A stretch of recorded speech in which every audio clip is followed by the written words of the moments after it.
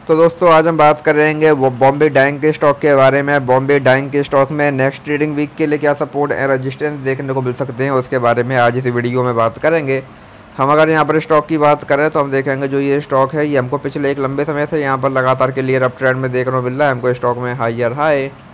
Higher low वाला pattern यहाँ पर देखने को मिल रहा है। हमको यहाँ पर स्टॉक में बीच बीच में यहाँ पर गिरावट भी देखने को मिली, लेकिन यहाँ पर स्टॉक ने कभी भी अपने प्रीवियस लो को ब्रेक नहीं किया और हमको स्टॉक में लगातार तेज़ी ही देखने को मिली है।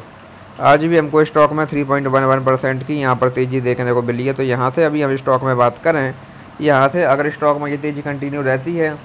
तो यहाँ से अभी और तेज़ी की कंडीशन में हमारे पास स्टॉक है 180 का पहला यहाँ पर रजिस्टेंस देखने को मिलेगा, अगर स्टॉक इसको ब्रेक करता है दैन यहाँ से हमको स्टॉक है 195 और अगर स्टॉक ने इसको भी यहाँ ब्रेक किया, देन यहाँ से हमको स्टॉक में अगेन एक बड़ी तेज़ी, बड़ी बाइंग यहाँ पर देखने को मिल सकती है। इसके बाद हमको यहाँ पे स्टॉक में 220 देन यहाँ से हमको स्टॉक में 240 और अगर स्टॉक इसको भी यहाँ ब्रेक करता है, देन यहाँ से हमको स्टॉक में 265 और 280 तक के लेवल्स भी यहाँ पर देखने को मिल सकते हैं।